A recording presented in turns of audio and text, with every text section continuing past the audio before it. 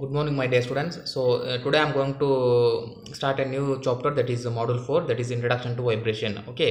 So here uh, in the dynamics of machinery subject for your syllabus module 1 2 3 is related to dynamics of motion and module 4 and 5 is related to vibration okay? So uh, so this uh, today i'm going to tell you about the uh, what you mean by vibration. What are the different types of vibration and what are the terms we are going to use in a vibration to solve the problems okay?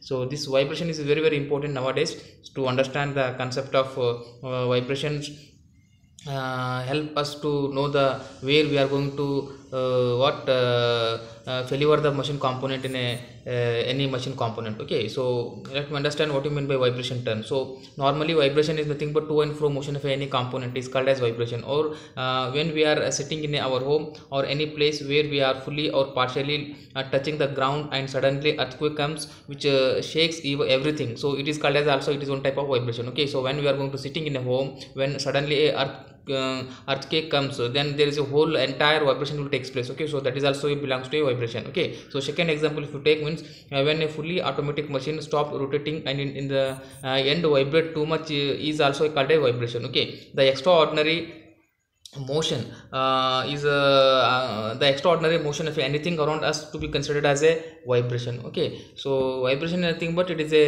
uh, to and fro motion of a body from its mean equilibrium position okay? So that is called as a vibration part. So normally uh, in another definition if you stay uh, in a standard form of definition of a vibration we can call as uh, if, you, if you if you if you want to know the vibration definition as per your uh, syllabus uh, that is standard form. So vibration is nothing but the motion of a body or a system which repeat itself after certain interval of time is called as a vibration. So best example is called as you can take it as swinging of a pendulum okay? So normally the vibration is to and fro if you, tell the simple words means vibration means as to and fro motion of a uh, particle is called as a vibration okay? So vibration normally occur when the body is displaced from its mean position uh, then the body return to its mean position mm, due to a restoring force uh, hence it, vibration may occur okay? So vibration occur where there is a rotating part or moving part in the machinery component okay? So normally vibrations the most of the vibration is undesirable in a machine and the structure therefore the machine produces uh, increase the stresses energy losses or increasing the bearing loads and the absorbed energy from the system okay? For example if you take the motion of a plucked string okay? So this is about the definition of vibration. Just to understand that the vibration is nothing but the motion of a body or a system which repeat itself after certain uh, interval of time is called as a vibration okay? So and next one is uh, what are the main uh, causes of a vibration okay? So cause of vibration is why the vibration causes in a machine component. Due to the first one is unbalanced force in the different parts of the machine. So this is the first uh, reason and uh, a lack of lubricant between the two mating surface. We are not going to use frequently that lubricant between the two mating surface. That is also one of the cause. And the external load or a force which make the system vibrant. And the fourth one is a lack of balancing of the forces in the machine part. So if balance is unbalanced then there is a chance of uh, creating the vibration okay? Earthquake and the wind which may causes the vibration transmission in the telephone uh, line okay? So wind uh, is an uh, best example for creating a vibration in the telephone and the transmission system. Okay. So not only this uh, okay. So next one is the what are the harmful effect of uh, vibration? Okay. If uh, in harmful very very important for this um, uh, to know the understanding this harmful effect of a vibration okay? So it normally the, it produces excessive stress in a machine component and produces undesirable noise. So this is also we can't hear the uh, anything uh, goes uh, very much uh, noise produced in the machinery component okay? So reduce the machine element of a life and uh, partial or complete the failure of a machine part energy waste okay? These are the some harmful effect uh, if vibration occur more in a machine component okay? So next one is where vibration effect required. Where we are going to use the vibration okay uh, in nowadays okay that is the uses of vibration okay. So in musical instrument we are going to use uh, to listen a vibration uh, in a to listen a musical instrument we are going to use vibration okay. So in we uh, in vibrating screen also we are going to use and the stress relieving in a machine component we are going to use in mobile phones motion of tuning fork and vibration in loudspeaker okay? So these are the some uh, uses of that is the effect of required uh, when the vibration occur okay? Element uh, elimination or redu- uh, reduction of vibration. How to reduce a um, vibration okay? By using the shock absorber in a vehicles by using a dynamic vibration in absorber using a isolator between the moving parts and the stationary parts okay? These are the three elements we are going to use to eliminate or reduction of the vibration system so what are the different types of vibration? Okay so n number of different types of vibration but for your syllabus only the two that is free vibration and the forced vibration okay? Free vibration is nothing but natural vibration and forced vibration okay? So in the free vibration as you know that as the name indicate free here there is no external force acting on this. So such type of vibrations are called as what? Free vibration okay? So forced vibration means you are going to use the here external forces. We will study in detail. So free vibration here i shown the diagram the spring mass amperage system uh, displays at a distance of x1 and x2 okay? When there is no external excitation force on a body or a body itself vibrate without any external force then the vibration in the body is called as a natural or free vibration. So this means what? Here if the the body which will uh, uh, vibrate itself only we are not adding any external force to vibrate such uh, type of vibration such type of the component such type of the system bodies are called as free vibration okay? So this type of vibration occur when the system is set up within an initial input then the allow it the vibration freely okay? A system with a free vibration vibrate with one or more uh, it's uh, of more of its natural frequency okay what do you mean by second one is a forced vibration? So forced vibration i think but when the body vibrate under the some external uh, forces and dist disturbance takes place then the displacement and the velocity uh, uh, will dis when a body vibrate under the external time varying a disturbance like a load displacement and velocity okay is called as a forced vibration. Just to understand understand that when a force is applied on any component then a displacement takes place okay? Disturbance takes place. Such type of the vibrations are called as forced vibration. Here the external physical phenomenon may be periodic or a random input or steady state okay? The periodic input can be a harmonic or a non-harmonic disturbance. For example reciprocating of an engine vibration. So this is about the force vibration. Free and force means free means no external forces exist. Force means here the we are going to add to disturb the vibration. Uh, that is to disturb the machine component to so that the vibration takes place hence it is called as forced vibration okay next means this is very important. The fundamental of vibration or terms used in a vibration component. That is a vibration uh, uh, part okay? So first definition is periodic motion. Periodic motion means what? When a body repeat it uh, its motion or itself after equal interval of time then this motion is called as a periodic motion okay? When a body moves when a body uh, repeat itself motion that is a repeated motion takes place in a one particular time uh, in a part, some particular interval of time then the uh, body then the motion is called as a periodic motion okay? So time period means the time taken to complete one cycle. The completion of taken uh, the time taken to complete one successful cycle is called as a time period okay? Frequency means what? A number of cycle moved uh, by a body per unit time is called as frequency okay?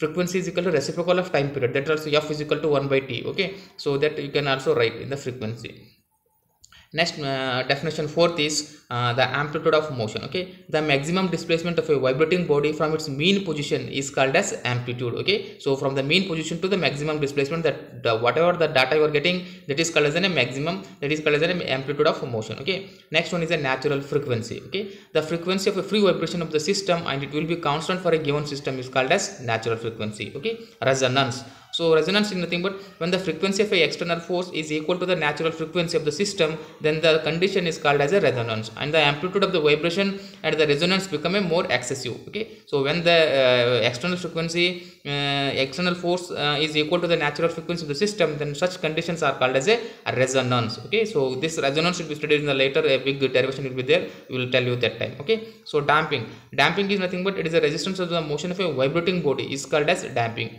Resistant to the motion of a vibrating body is called as damping okay so damping term is very very important in the vibration chapter remember this definition throughout long your your career okay damping is nothing but the resistance of a motion of a body uh, that a vibrating body uh, is called as damping okay? Next so what are the different types of vibration they may ask you in the examination? So i told no free vibration. Again in free vibration there are three types. So in a free vibration the object is not under the influence of any kind of outside forces. So hence such type of vibrations are called as a free vibration. So again vibrations are three types of that is a longitudinal transverse and torsional vibration okay? So longitudinal vibration nothing but i shown in the diagram also. Here the longitudinal vibration means the the body will uh, vibrate along the vertical direction along with the axis is called as uh, what longitudinal vibration so when the particle of a body moves parallel to the axis of the body then the vibration is known as longitudinal vibration. Okay so i mentioned here in the figure a. So transfer vibration means when um, when the particle of a body moves nearly perpendicular to the axis of the body then the vibration is known as transverse vibration okay? So here the transverse vibration is when the body is rotated in a perpendicular that is a uh, when the body rotate, uh, moves nearly perpendicular to the axis of the body then the vibration is known as transverse vibration uh, shown in the figure b okay so here the torsional vibration means when the particle of the body move in a circle about an axis of the body then the vibration is known as torsional vibration okay? Longitudinal transfer torsion. Torsion is nothing but the body rotated around the axis of the shaft and transfer nothing but the perpendicular to the axis of the body parallel to the axis of the body. So these three terms we are going to use uh, in a way solving the problem okay? So this is about the diagram uh, in terms of diagram definitions okay? So next one is a forced vibration take a second part. Forced vibration is nothing but when a periodic uh, disturbance force keeps the body in vibrating through a out in its entire period of motion is called as forced vibration. So such vibration is said to be a forced vibration okay? The frequency of vibration of the body is same as the frequency of the applied force. So this is the condition that is f is equal to f naught sine omega t as shown in the diagram okay? So here the some force we are some external force we are going to touch we are going to add some uh, uh, component that will be disturbed so that force is called as a force vibration okay? So again i shown in the force vibration means um, uh, it is uh, when a time varying disturbance that is a load displacement velocity is applied to the mechanical system then such system such uh, vibrations are called as force vibration okay? The disturbance can be periodic a steady state input transient input a random input okay? The periodic input can be harmonic or a non-harmonic disturbance okay? For example all these type of the vibration include the washing machine shaking due to a imbalance transportation vibration caused by the engine on uh, uneven road or the vibration of the building during the earthquake these are the comes under the forced vibration okay? So these are the different types of vibration again uh, undamped vibration. When no energy is lost or dissipated in a friction uh, or other resistance during the oscillation is called as a undamped vibration.